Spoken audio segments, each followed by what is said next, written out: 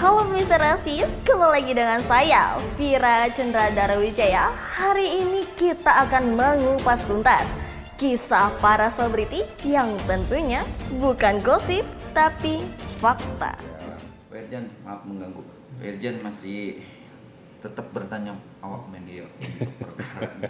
ya kan tapi ini perkaranya sudah ada terang lah dalam tanda kutip PK sudah berjalan tujuh narapidana sudah dilimpahkan ke Cirebon tapi Sudirman sendiri yang buat tanya jawab akhirnya keluar juga dalam tanda kutip ada orangnya tidak kenapa-napa.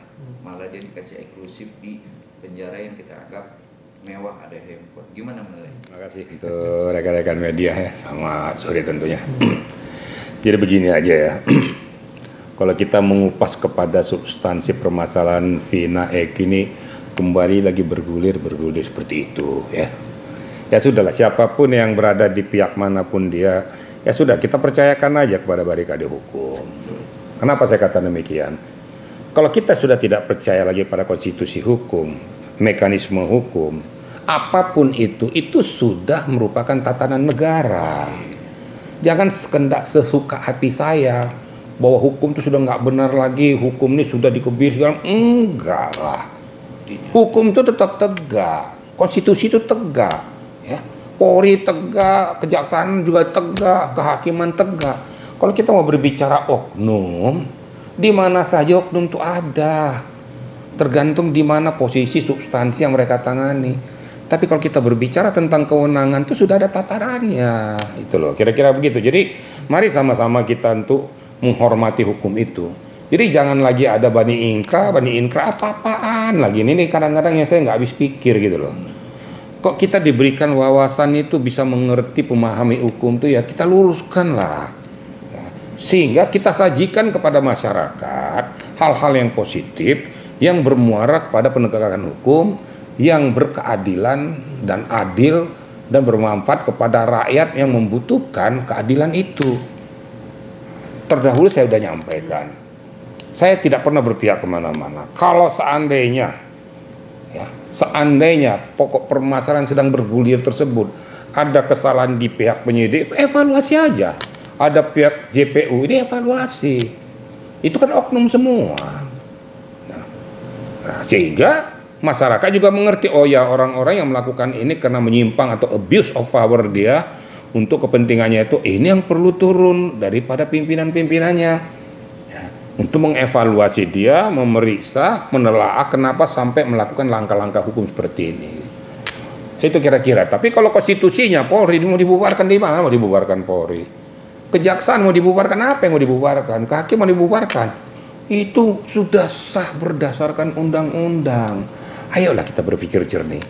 Ayo kita lihat kan sudah berjuang ini ya, berjuang para pengacara dari pihak Sakatatal CS ataupun dari pihak Rudiana CS. Apa pun yang mereka, mereka lakukan berdasarkan pengalaman dan pengamatan mereka, mereka berada di pihak yang benar di kedua belah pihak ini. Tapi yang paling benar tadi adalah keputusan daripada hakim saya sudah katakan kalau hakim mengatakan bahwa itu diterima, ayo kita sama-sama hormati. Kalau itu ditolak, ayo sama-sama kita hormati. Karena muaranya kan mereka kan lebih pengalaman dari kita. Hakim itu nggak sembarangan loh. Hakim itu dididik ya, digembleng untuk tentang masalah pengetahuan hukum, bagaimana menelaah hukum, bagaimana membedah hukum, sehingga bisa mengambil keputusan. Karena keputusan tangan mereka. Kalaupun terjadi hal-hal tertentu, itu yang saya katakan tadi, itu adalah oknum-oknum. Jangan generalisir semua. Jangan lembaganya yang disalahkan. Lembaga itu sudah betul.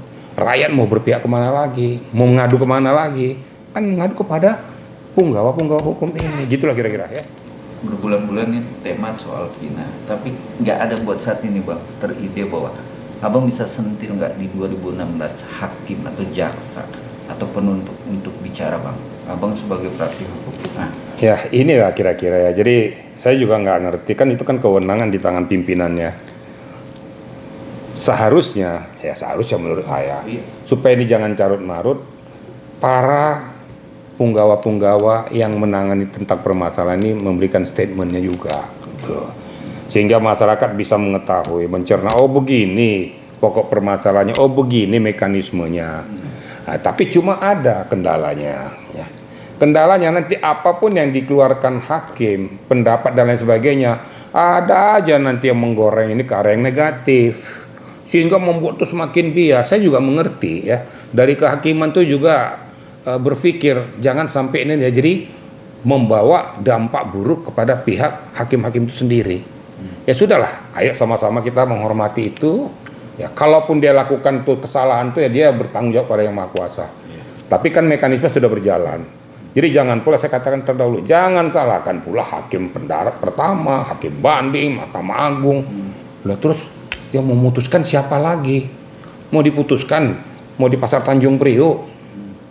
Berarti kan preman dong yang main kan gitu. Apa ya hukum ini bermain dengan preman? Nah, sudah salah lagi kita gitu loh bermain dengan hukum, bukan menggunakan preman gitu loh. Nah ini nggak nggak lucu. Jadi hakim jalanan yang jalan. Nah, tapi juga para hakim-hakim yang penentu daripada nasib manusia ini harus adil. Berikan segera tanggapan ini kepada masyarakat supaya masyarakat dapat memahami, mengerti, mengetahui oh begini prosedurnya. Itulah kira-kira. Ya sama-sama lah kita tunggu nanti dari Mahkamah Agung hasil sidang zakat tatal apa pun yang mau dilakukan oleh kuasa hukumnya itu sah-sah saja. Ya. Baik mau nanti mau terpidana yang tujuh lagi mau dapat silakan saja. Nanti kan tentu hakim yang menentukan nanti bisa atau tidak gitu loh kira-kira. Nah, tujuh pidana itu juga sudah mengajukan VK, dan juga ada uh, sebagian yang dulu saksi atau tiga saksi itu yang menguatkan bahwa menuju para pidana itu uh, para pelaku dan akhirnya dia menyambut hmm. uh, kesaksian dia. Tapi tetap ada satu yang belum menyambut yaitu Aib. Gimana bang? Melihatnya bang? Ya inilah saya katakan tadi. Kan saya sudah ngomong kalau dia sudah mengeluarkan pendapat kesaksiannya ya hmm. berarti dia harus mempertanggungjawabkan okay. dikala dia mencabut kembali keterangannya berarti ada sesuatu yang nggak benar hmm. berarti dia memberikan keterangan palsu nah ini perlu saya sampaikan juga kepada rekan-rekan media ya tentang masalah saksi ya, saya tergelitik jujur ngomong tergelitik saya Katakan bahwa polisi, ya memang tugas polisi mencari saksi-saksi itu. Itu udah tugas pokoknya. Tetapi ya saksi-saksi ini kan ada yang sembunyi, kan tidak seluruhnya bisa diketahui oleh penyidik.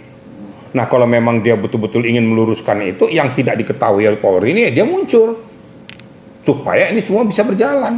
Jadi jangan mengatakan, nah, itu kan tugas polisi, bukan tugas daripada saksi untuk muncul. Emang polisi malaikat, kok bisa jadi saksi, kok bisa jadi saksi. Ya kalau saksinya nggak kredibel, gimana? Tapi kalau merasa saksi ini pengen muncul, pengen meluruskan hukum, seyogianya harus muncul. Itu yang saya katakan, kenapa baru sekarang muncul? Kenapa nggak kemarin-kemarin?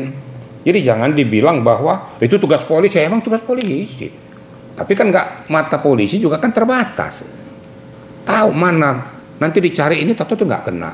Ini kan malam juga udah ada statement dari pengacara yang kita anggap memegang tujuh narapidana ya. mengajukan PK nah ya kan dengan perkara yang disangkakan terdakwa atau melakukan tapi tujuh cara pidana itu ada tiga saksi empat saksi tiga saksi itu sudah mencabut bang. Tapi tetap saya yang sebut F itu tidak mencabut. Gimana bang? Maksudnya intinya di situ bang?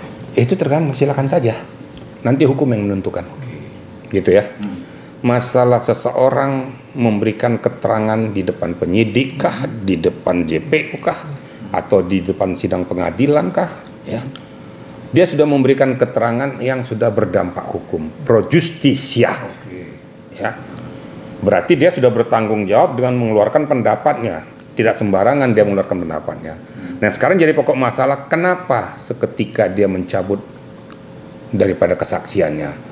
Nah sekarang ditelusuri apakah ada tekanan intimidasi dan lain sebagainya. Ini kan perlu kita luruskan. Nah untuk itu ya silakan nanti dibuktikan apakah ini mencabut ini karena dulu dia memberikan keterangan diintimidasi, diintimidasi oleh siapa? Kan harus jelas. Kalau betul-betul memang benar itu diintimidasi, ya langsung aja cross check aja langsung. Kalau mengintimidasi itu adalah apakah itu penyidik JPU? Ya kalau benar ya, kalau benar saya nggak katakan benar atau salah. Periksa saja penyidiknya siapa yang mengintimidasi, mana buktinya, mana faktanya. Kita kan berbicara bukti fakta, bukan dikatakan katanya menurut dia. Nah, landasan apa dia menarik kembali keterangannya? Nah, ini yang perlu kita luruskan. Kalau memang dia bisa buktikan, saya dipukul oleh ini, saya diintimidasi oleh ini, kan dia tahu dong siapa penyidiknya. Ya luruskan aja. Nah, nanti tentu ah, kita minta juga dari pihak institusi yang berkewenangan itu juga melakukan menelusuri benar nggak keterangan ini juga jangan diam. Jadi jangan ah, menerima mana menunggu nunggu apa keterangan daripada si saksi ini turun juga nggak usah diminta oleh orang lain atau pengacara daripada si eh, terpidana ini. Kalau memang betul lakukan tindakan hukum dari pihak institusi kepolisian. Supaya masyarakat tahu bahwa kalau memang itu benar harus diluruskan. Itu kira-kira. Jadi saya nggak berpihak ke mana-mana saya berpihak pada hukum. Karena hukum dan keadilan itu yang kita dibutuhkan oleh Saya masyarakat. dari saya. Pak bilang menyebut kasus ini sebagai permainan hukum paling buruk di dunia. Terus eh, terkait kasus manajemen yang melakukan gini bang, gimana bang? Menurut abang sendiri pernyataan dari Pak Agrosono? gimana ya? Saya kadang-kadang kalau justice justice dari orang itu apa lebih hakim dari hakim gitu loh. Untuk membuktikan paling buruk di dunia dasar pemikirannya di mana gitu loh. Ini yang saya katakan.